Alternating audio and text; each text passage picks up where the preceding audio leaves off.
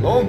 Assalamu alaikum, my friends. So a lot of Christians and Jews don't even know about this. And this is very important for Christians and Jews to know about the Muslim. So I'm going to explain to you Muslims this. When I when, when God establishes me of what I'm going to do, I'm going to remove this pact. And I'll show you this pact uh, at the end of my video. I'm going to remove this pact, and then I'm going to come after anybody who practices this. If you're a Muslim and you practice this, I'm going to destroy you. I'm going to destroy you. You understand? And I'm Mahdi, and I'm going to destroy you. Watch. Watch. You think it's funny? You want to sit around and make fun of people? You want to sit around and try to say I'm not who I claim I am? Then you will reap that which is so.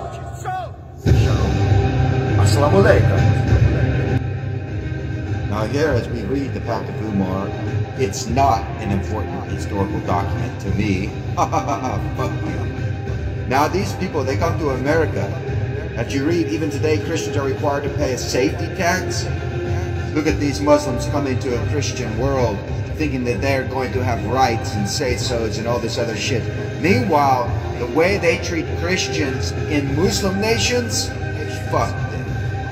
Fuck them.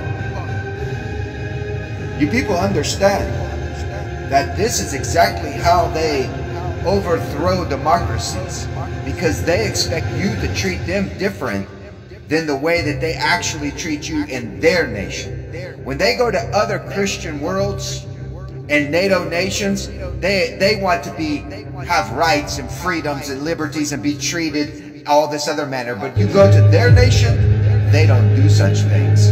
Yet they still believe in their radical bullshit.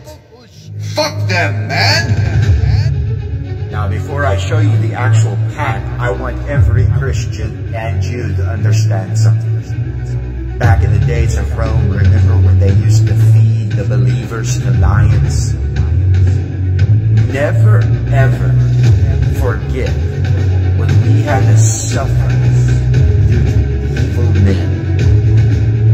Never forget that.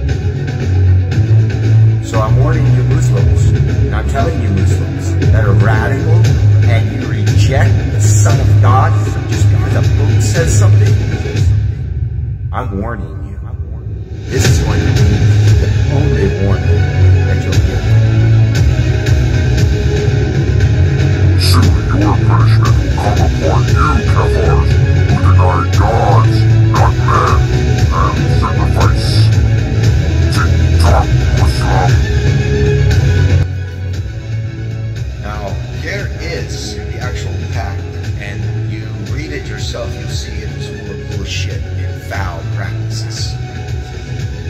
want remind everybody, I don't practice religion. I don't give a fuck about Shirk.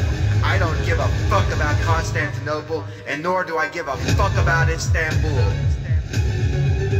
Because that is where all these mainstream religious concepts, beliefs, and interpretations all stem from to begin with. So now you understand me and why I despise any treat people in foul manners based upon religion. Fuck religion.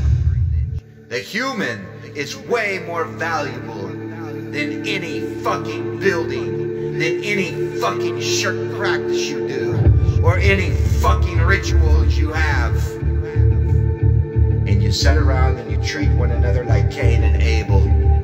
Fuck you people.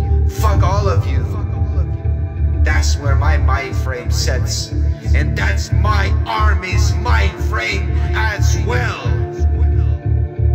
Do you understand now, motherfuckers? You see, rulers, kings and queens and scribes and all these so-called Nakash